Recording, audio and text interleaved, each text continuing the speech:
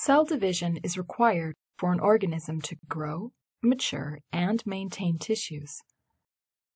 During the mitotic phase, a cell will undergo mitosis to form two new nuclei, and then divide to form two new individual cells during cytokinesis. Mitosis is the process of dividing the duplicated DNA of a cell into two new nuclei. Mitosis is split into distinct stages. The first stage is prophase. The DNA condenses, organizes, and the classic chromosome structure appears. Next comes prometaphase, where microtubules attach to the chromosomes. This step is followed by metaphase, where the chromosomes align. Metaphase is followed by anaphase, where the chromosomes separate. Finally, during telophase, nuclear membranes reappear around the two sets of chromosomes.